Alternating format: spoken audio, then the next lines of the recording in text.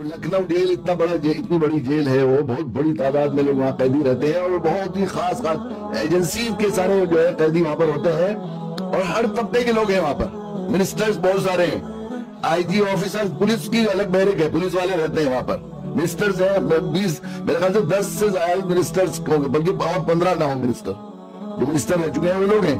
बड़े बड़े ऑफिसर्स हैं आई ऑफिसर्स हैं। वहाँ पर हैं। और बड़े बड़े मजहबी पेशवा, हिंदू मजहबी पेशवा भी बहुत से ऐसे हैं जो किसी न किसी वजह से वहाँ रहे हैं, वहाँ पर हो रहे हैं।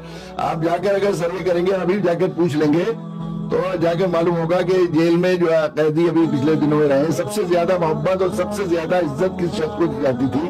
तो मैं अपने मुँह से नहीं कह रहा हूँ मेरे, मेरी बात नहीं, मैं इस उलिये की बात कह रहा हूँ। उन्हें मेरे अंदर क्या है, इसका तो कुछ नहीं मालूम नहीं था। न मैंने उन्हें पढ़ाया है, न मैंने उनके सामने कोई खास तकरीर की है, न कुछ किया है, बस ये देखकर ये उलिया और ये मौलाना साहब है, बस इस तरह से समझते थे। हज़रत साहब कहते थे लोग, वो थे एटीएस वाले जो एजेंसी बिलमान पर शुरू में अफसरों ने देख कर ही कह दिया था, हज़रत साहब, हम आपके मकाम को समझते हैं और आपके मौसद आदमी यहाँ से बल्कि गिरफ़्तार किया था, तभी उन्होंने जो था, उसने कह दिया था कि हम जानते हैं आप मौजूद आदमी है, हम आपके साथ कोई ऐसा रवैया थोड़े कर सकेंगे आपका। वैसे अब देख कर उसे क्या मालूम मोहसद आदमी है कहाँ से हो गया है? पुलिस वाले थे, वो तो मुझे तो के पकड़ के ले जा रहे थे। फिर वहाँ भी जी हम उन्होंने कह दिया कोई आपको तुम भी नहीं कहेगा अदर साहब यहाँ। अगर कोई आपको हमारा हमले का कोई आदमी तुम कह दे तो आप मुझे फ़ौरन इंटीमेट करेंगे। और फ़ौरन ये कहा कि देखिए अदर साहब अगर दस दफ़ा मेरे पास आना चाहेंगे तो आप ये नहीं कहेंगे कि थोड़ी देर में आना है। जाना है, जरा हम मसरूफ है। फ़ौरन लेके आइएगा, कोई भी शिकायत कंप्लेंट हो बस, जितनी देर आपकी तबीयत इंशरा हो तो आप जवाब दीजिए। हमारी तो मजबूरी है कि हमें फॉर्मेलिटी पूरी करनी है। जितनी देर आप जवाब दे सकते हो, उतनी जवाब दीजिए। उसके बाद जैसा हो जाए, फिर फिर अब दस मिनट, पंद्रह मिनट हम कोई ये नहीं कहेंगे कि आप हमारे को वक्त वेस्ट कर रहे हैं। जिस रोज मैं आया तो वहाँ पर एक बहुत बड़े पंडित थे, वो वो भी थे बेचारे। उनके छह आश्रम थे बड़े बड़े पीजीआई है वहाँ पर। संजय गांधी पीजीआई। तो पहले तो बाहर था रायबरेली रोड पर, लेकिन अब वहाँ पर इंजीनियरिंग कॉलेज यूनिवर्सिटीज हॉस्पिटल बड़े बड़े ऑफ़िस बन गए हैं तो लखनऊ का महँगा तरीन एरिया है। वहाँ पर साढ़े चार सौ एकड़ है, उनके शिफार में जगह जगह है वो। और ज़मीन माफिया ने उन पर उस ज़मीन पर कब्जा करने के लिए उनको जेल में भिजवा दिया झूठे इल्ज़ाम लगाकर वो पैसे दे देकर निकलने नहीं देते। बहुत शरीफ बहुत साफ़ सुथरे रहते थे, बहुत ही जब मैं आ रहा था जिस रोज कैद से निकल कर, उस रोज वो जो है पुलिस वालों से कहा अम्बिया साहब से भेंट कर ले तो पुलिस वाले भी उनका एहतराम करते हैं कि बड़े आदमी है अपने मज़हब के। तो वो आए और आके कह रहे हैं मौलाना साहब, देखिए, एक तो जन की रिहाई होती है, एक जग की रिहाई होती है। जन तो रोज आते रहते हैं। मुझे आज ऐसा लग रहा है जैसे जग रिहा हो रहा है। और मुझे आपसे कोई चापलूसी की बात नहीं करनी, मुझे कुछ लेना नहीं आपसे। मैं सच बात ये बात कह रहा हूँ कि अगर मेरी रिहाई होती तो मुझे इतनी खुशी नहीं होती इतनी आपकी रिहाई की खुशी हो रही। ये सिर्फ़ इन मुल्लाओं और कुरान वाले मस्जिद के खादिमों के, के उस हुलिये का एहतराम है बच्चों और कुछ नहीं है इसके अलावा। मुझे मैं मदरसे में जाता हूँ लोग मुआयना लिखवाते हैं क्योंकि हम लोग खिदमत करने लगे हैं तो थोड़ा बहुत होता है कि भाई गया एक, एक, एक रिवायात जो चली आ रही है उसको सब लिया कोई भी आएगा तो लिखवाते हैं मुआयना लिखवाते हैं। तो मैं मुआयने के बाद शुरू से मैंने अपने लिए वो किया है कुछ खत लिखना है किसी को तस्दीकनामा देना है खाक पाए पाए खुदामी दीन। ये ये कुछ भी बेफिक्र जो है बेख्याली के साथ और किसी तरह भी कुछ लिख दूँ मैं। लेकिन इसको बहुत इस्तेजार के साथ लिखता हूँ मैं, अंदर से कैफियत के साथ और इस ख्याल के साथ के मुआयने बहुत से अल्लाह वाले, अल्लाह के नेक बंदे मकबूल घड़ी में पढ़ेंगे। तो किसी वक्त किसी मकबूल बंदे ने, किसी मकबूल घड़ी में अल्लाह पढ़ा गया, अल्लाह ने कबूल कर लिया तो मेरा हश हो जाएगा इनके कदमों की खाक के साथ जो खुदा खिदमत करने वाले हैं कुरान मजीद के साथ। ये उसकी बरकत जहाँ जाते हैं, वहाँ पर ये सूरत हाल होती है। आप ये समझते लोग समझते हैं कि दुनिया के एतबार से ये लोग चलो ये तो ये पर ये समझा जाता है और ये शैतान बहकाता भी इंसान को दीन से दूर रखने के लिए कि दीन का मतलब ये है कि इस दुनिया में भूखा रहेंगे, फकने फकाल रहेंगे, बिल्कुल परेशान रहेंगे मुस्तकिल जो है ऐसी सूरत हाल होगी। ऐसा नहीं है, दीन ने तो अल्लाह के नबी अल्लाह कुरान मजीद में खुद अल्लाह तला ने जो नेक लोगों की तारीफ़ बयान की, उनकी दुआ बयान की रबना आदिना फिर दुनिया हसना वफिल आखिरत हसना वकीना जबंदान अल्लाह हमारी दुनिया भी अच्छी कीजिए, आखिरत भी अच्छी। पहले दुनिया अच्छी कीजिए, दुनिया अच्छी होगी, आखिरत अच्छी होगी।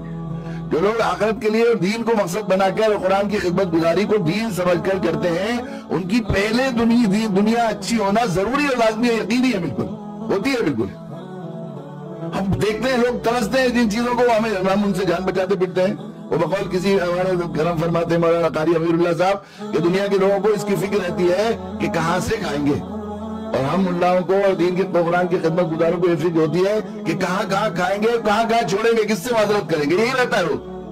नाश्ते उसका उसके होता है अगर मैं मैं मैं कह रहा हूँ, कहा कि पाए खुदा में दीन बनने की ख्वाहिश और चाहत और अरमान और इसकी दुआ और इसकी तमन्नाओं की बरकत है। बरकत से मैं ये बात कहता हूँ कि अगर रिकॉर्ड बनाया जाता शुरू से रखा जाता तो शायद दुनिया में एक Guinness book of world record में मेरा नाम आ जाता। एक बंदा जिसने दस्तरखान पर, नाश्ते और खानों पर सबसे ज़्यादा वक्त गुजारा है।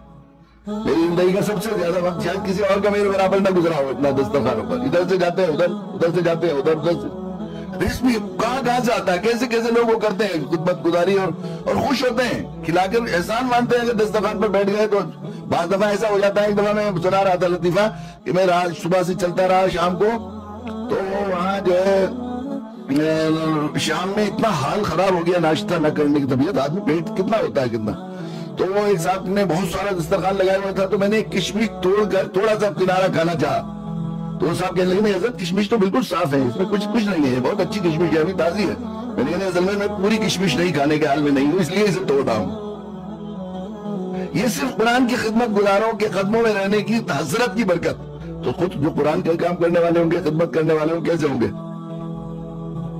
एक मरतबा हम एक कोई गाँव एक कस्बा है वहाँ ईशा की नमाज़ के बाद हमारे वहाँ से जो है ईशा की नमाज़ के बाद प्रोग्राम के मगरब के बाद प्रोग्राम था ईशा के बाद हमें मालीगांव जाना था तीन रोज के लिए ये तय हो गया था कि हम लेने आ जाएँगे मालीगांव वालों ने कहा था कि हम लेने भेज देंगे तो नमाज़ के बाद पहुँचे तो एक बिल्कुल एक पजीरो गाड़ी खड़ी हुई थी एक लैंड क्रूजर खड़ी हुई थी दोनों गाड़ी खड़ी हुई थी वो कहने लगे इसमें चलिए दूसरे कहने लगे नहीं हमें हमारे हमें ले जाना है उनमें आपस में बड़ा बड़ा बोले अभी किसी को बना के भेजा है वहाँ के लोगों ने मैं नहीं हज़रत अभी तो किसी को नहीं बनाया। वो मानने इतने को तैयार नहीं थे कोई भी।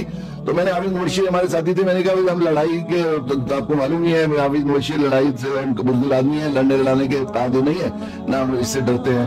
तो बहुत दिनों से मुफ्ती रोशन साहब के यहाँ नहीं गए टैक्सी करो पर मालिगांव जाते ही नहीं हम तो सनोरी चलते हैं वहाँ चलो यहाँ से बस तो उन्हें ख्याल हुआ कि भाई वगैरह हो गए। जिसमें चाहे बैठ जाइए। मैंने कितनी दूर है मालिगांव? उन्होंने कहा एक सौ दस किलोमीटर है। तो पचपन किलोमीटर कहाँ बैठता है कि फला दरिया का पुल है? सही पचपन किलोमीटर। मतलब पचपन किलोमीटर एक, एक में बैठ जाए और पचपन किलोमीटर के हाँ जी हाँ खुश हो गए चलो दोनों में हो जाएगा। तो अब ये हुआ कि मालिगांव कौन ले जाएगा? असल तो उसका ऐसा होगा जो मालिगांव ले जाएगा। तो मैंने कहा उसके लिए पूरा डाल ले तो पूरा डाल लिया। अब मैं पहली गाड़ी में बैठा तो उन्होंने बताना शुरू किया हज़रत आपको लग तो रहा होगा अच्छा मगर वो मालिक साहब ड्राइवर थे उनका बेटा साथ में था वो। कि वो हमारे हज़रत इनके इनके अब्बा जी हाजी साहब उन्होंने एक महीना तीन दिन पहले गाड़ी निकलवाई थी। खुद बैठ के नहीं आए थे। बल्कि एक ड्राइवर के साथ आए थे और कहा था कि हज़रत आने वाले हैं उन्हीं वही बैठेंगे सबसे पहले गाड़ी में। इसे इसी तरह खड़ी हुई थी है इसका इफ्तः करेंगे आप। फिर हम आगे जब दूसरे वाले गाड़ी में बैठे तो उन्होंने बताया पजीरों के बारे में कि 21 दिन से खड़ी हुई थी गाड़ी नहीं बैठे नहीं थे वो। गाड़ी जब आती है तो कितना चार्म होता है घर वालों को अभी चलते हैं कहीं घूमने, नई गाड़ी आई है इतनी ऐसी वीवीआईपी गाड़ियाँ थी दोनों बैठी थी। वो इंतज़ार में बैठे हो तो कोई हमें अपनी गाड़ी में बिठा ले कोई हमें गाड़ी में बिठा ले तो हम उसका एहसान मानते हैं। आमतौर पर लोगों का, ज़्यादातर मैक्सिमम ये दुनिया काम करने वाले अच्छे अच्छे लोगों का खासे लोग, दरमियानी दर्जे के लोग कोई गाड़ी में अपनी बिठा ले तो एहसान समझते हैं। और ये कुरान के खिदमत गुजारों की खाक में बनने की ख्वाहिश करने वाले के साथ अल्लाह के यहाँ यह एहसान कि लोग एक महीना, तीन दिन और इक्कीस दिन तक नई गाड़ी खड़ी रखेंगे, वो सबसे पहले वो बैठेंगे।